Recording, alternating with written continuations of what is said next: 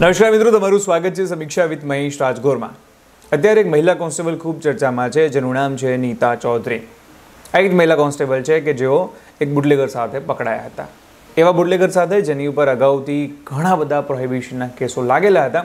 એની સાથે સફેદ કલરની થાર ગાડીમાં મહિલા કોન્સ્ટેબલ ઝડપાયા હતા.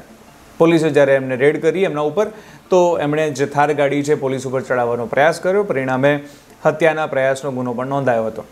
ગઈકાલે જ્યારે મેં સમીક્ષામાં વાત કરી હતી ત્યારે હત્યાના પ્રયાસના ગુનાની અંદર કોર્ટે નીતા ચૌધરીને જામીન આપી દીધા હતા. પરંતુ ભચાઉ પોલીસે પ્રોહિબિશનના ગુનાની અંદર નીતા ચૌધરીને રિમાન્ડ માંગ્યા અને ભચાઉ પોલીસે જે છે એમને રિમાન્ડ પણ આપ્યા છે. હવે એક નવાઈની વાત એ છે કે આજે નીતા ચૌધરી છે, એની સોશિયલ મીડિયા ઉપર ઘણી બધી રીલો ચાલી અને પછી જ્યારે ન્યૂઝમાં આવ્યું કે કેવી રીતના એ અલગ અલગ તાઇફાઓ કરતી અને કેવી રીતના સ્ટન્ટ કરવામાં ઉસ્તાદ હતી. એના પછી એક નવાઈની વસ્તુ જોવા મળી છે કે નીતા ચૌધરીના ઇન્સ્ટાગ્રામ ઉપર કન્ટિન્યુઅસલી ફોલોવર ચાલીસ હજારમાંથી એક લાખ ઉપર પહોંચી ગયા. પ્રશ્ન એ ઊભો થાય કે આપણે કઈ દિશામાં જઈ રહ્યા છે? એક એક યુવાનો તરીકે, એક સમાજ તરીકે આપણે કઈ દિશામાં જઈ રહ્યા છે? નીતા ચૌધરીએ શું સારું કામ કર્યું છે? તેને ફોલો કરવી પડે. શું સારું કામ કર્યું છે? શું આ દેશનું નામ રોશન કર્યું છે? શું આપણા રાજ્ય માટે કંઈક સારું કામ કર્યું છે? બુટલેગર સાથે પકડાયા છે. દારૂની હેરફેર કરતા હતા.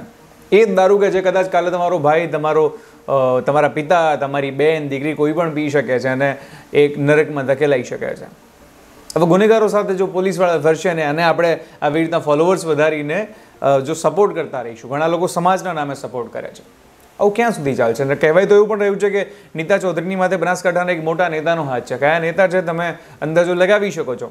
અને હોવો જ જોઈએ. એટલા માટે તો નીતા ચૌધરીના મોઢા ઉપર એ ઘમંડ અને એ અહંકાર દેખાતો હતો કે તમે મારું કંઈ નહીં ઉખાડી શકો. અને એટલા માટે હત્યાના કે પ્રયાસના કેસની અંદર પણ જે છે, પોલીસ ઉપર તમે ગાડી ચડાવવાનો પ્રયાસ કરો ને તમને જામીન મળી જાય ને એમને જામીન મળી ગયા હતા.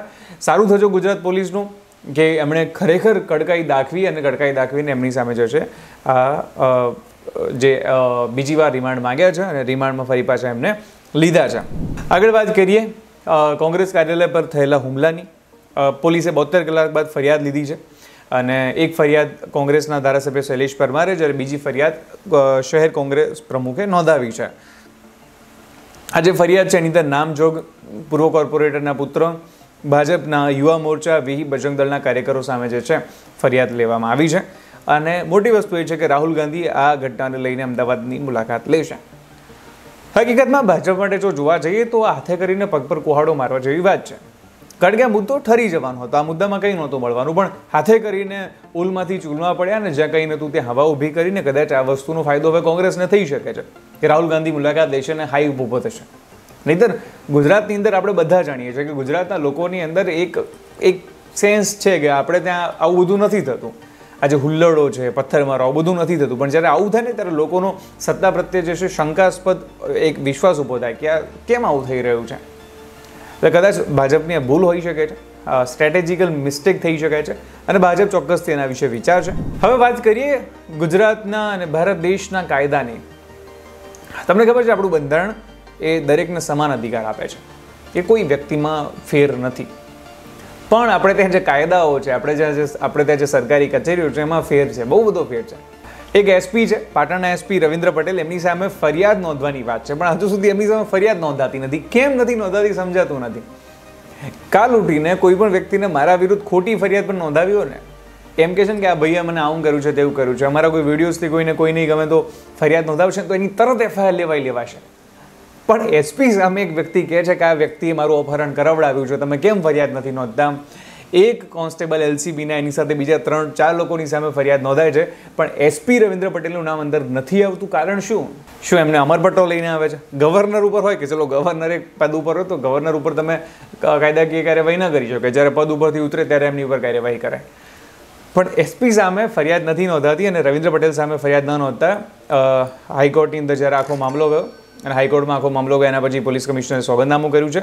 કહ્યું છે કે જેટલા પણ લોકોએ જે વેપારીનું અપહરણ કર્યું હતું, એલસીબીનું કાર્ડ બતાવીને અપહરણ કર્યું હતું, પોલીસવાલા ગુંડા, આ જે લોકો છે એમની વાત કરી રહ્યો છું, જેમણે અપહરણ કર્યું હતું, એમની સામે એફઆઈઆર નોંધવામાં આવી છે, પરંતુ હજુ સુધી એસપી સામે ફરિયાદ નથી નોંધાતી.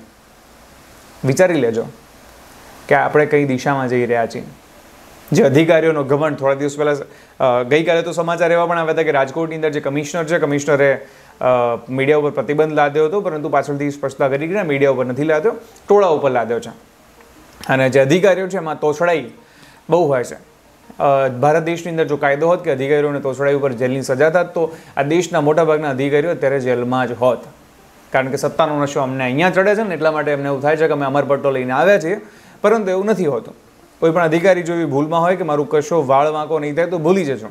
આઈપીએસ સંજીવ ભટ્ટ અત્યારે જેલમાં છે. આઈએસ એસ કે લાંગા જે કલેક્ટર હતા એ અત્યારે જેલમાં છે. આવા તો કેટલા આઈએસ, આઈપીએસો છે જે અત્યારે જેલમાં છે અને જેલની સજા ભોગવી રહ્યા છે. દેશનો કાયદાની જે દેવી હોય છે, એના આંખ ઉપર ભલે પાટો બાંધેલો હોય, આપણને ન્યાય ભલે મોડો મળતો હોય, પણ ક્યારેક ને ક્યારેક તો મળે જ છે. અને અહીંયા નહીં મળે તો ઉપરવાળાની કોર્ટમાં મળે છે, પણ ન્યાય તો મળે જ છે. જો કોઈ આવા ઘમંડમાં રહેતું હોય કે મારું કોઈ કશું નહીં ઉખાડી શકે, તો એ વાત તો ખોટી છે. હવે એક મુદ્દો છે. રાહુલ ગાંધીએ સંસદમાં મુદ્દો ઉપાડ્યો કે અગ્નિવીરોને કમ્પન્સેશન નથી અપાતું. આવું એમણે કહ્યું. સત્તા પક્ષે કહ્યું કે આ વાત ખોટી છે. અને અમિત શાહે પોતે કહ્યું કે ભાઈ આ વાત ખોટી છે, તમે આવી ખોટી વાત ન ફેલાવો. એના પછી? એના પછી રાહુલ ગાંધીએ વીડિયો જાહેર કર્યો. વીડિયો જાહેર કરીને અગ્નિવીર અજય કુમારની વાત કરી અને કહ્યું કે અજય કુમાર જે છે, એમને હજુ સુધી કમ્પન્સેશન નથી મળ્યું. એમના પરિવારનો પણ એમણે એક વીડિયો મૂક્યો. પણ અહીંયા રાહુલ ગાંધી જુઠ્ઠું બોલ્યા. જી હા. કારણ કે ઇન્ડિયન આર્મી દ્વારા ઓફિશિયલી પોસ્ટ કરીને કહેવામાં આવ્યું કે અજય કુમાર જે અગ્નિવીર હતા, જે શહીદ થયા હતા, એમને પરિવારને અઠ્ઠાણું પોઈન્ટ ઓગણચાલીસ લાખ રૂપિયાનું વળતર ઓલરેડી ચૂકવી દેવામાં આવ્યું છે બે હપ્તાની અંદર. અને હજુ એમને રકમ ચૂકવવાની બાકી છે અને ટોટલ જે રકમ થશે, એ રકમ થશે એક કરોડ પાસઠ લાખ રૂપિયાની રકમ થશે. એની દર જે અગ્નિવીર હોય છે, એનો ઇન્સ્યોરન્સ વગેરે લેવામાં આવે છે અને આવી તમામ બાબતો હોય છે. ક્યાંક આની અંદર શહીદનો પરિવાર પણ રાજનીતિના ઘેરામાં પડી ગયો અને એમણે પણ અમુક અમુક નિવેદનો આપે જે અલગ અલગ હતા. શહીદના પરિવાર વિશે આપણે વધારે ન કહેવું જોઈએ, કારણ કે કદાચ દીકરાના સદમામાં હોય ને ક્યારેક લોકલ રાજનીતિ એટલી હાવી થઈ જતી હોય છે કે કેટલાક કેટલીક વાર પરી- પરિવારો એવા નિવેદનો આપવા પડતા હોય છે. પણ રાહુલ ગાંધી જેવા વિપક્ષના નેતા જો આવું કહે અને એની સામે આર્મી ઓફિશિયલી નિવેદન આપવું પડે, એ વાત કેટલી યોગ્ય છે? તમે કોઈ પણ પક્ષના સપોર્ટર હોય, ખાલી નક્કી કરી લેજો કે શું ઇન્ડિયન આર્મી જૂઠું બોલી રહી છે કે રાહુલ ગાંધી જૂઠું બોલી રહ્યા છે? Just decide by yourself army કહી રહી છે કે અમે આપ્યું છે અઠ્ઠાણું પોઈન્ટ ઓગણચાલીસ લાખનું જે વળતર આપવામાં આવ્યું છે. જ્યારે રાહુલ ગાંધી કહી રહ્યા છે કે નથી મળ્યું. સિમ્પલ, બે લોકો છે. સાચું કોણ, જૂઠું કોણ તમે જાતે નક્કી કરી શકો છો. રાહુલ ગાંધી આ મુદ્દામાં સેન્સિટિવ સેન્સિટિવિટી લાવી શક્યા હોત. પહેલાં માહિતી પૂરેપૂરી તપાસી હોત. કારણ કે જ્યારે તમે આવો કોઈ સેન્સિટિવ મુદ્દો હોય છે, ત્યારે તમે આવી રીતે ખોટું બોલીને લોકોને ભરમાવો છો. જે માતાઓ, બે દીકરીઓ, જે માતાઓ, બહેનો, દીકરીઓ કોઈ પણ હોય, પોતાના ભાઈ, પોતાના દીકરાને આર્મીમાં મૂકવાનું વિચારતી છે તમારા આવા જૂઠા નિવેદનના કારણે એમનું મનોબળ ક્યાંક તૂટી શકે છે, ડગી શકે છે. એટલા માટે આવા નિવેદનો આપવા આપતા પહેલાં વિચારવું જોઈએ. અગ્નિવીર યોજના યોગ્ય છે કે અયોગ્ય છે એ અલગ ડિબેટનો મુદ્દો છે. એની વાત અલગ છે.